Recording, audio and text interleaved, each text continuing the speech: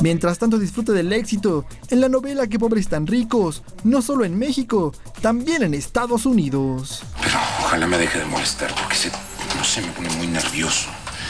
Me da hasta gastritis. La verdad que sí, contentísimo, contentísimo, porque la verdad que se está desarrollando la novela ya.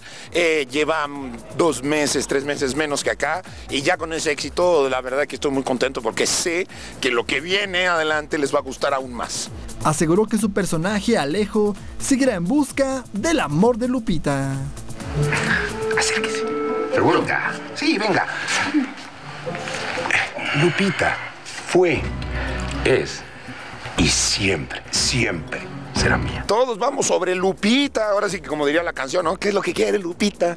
¿Qué es lo que quiere la niña? Exacto, entonces pues ahora sí que Miguel Ángel sobre de ella, Alejo sobre de ella, Nepo sobre de ella, y el papá la cuida de todo ese pobre flaco.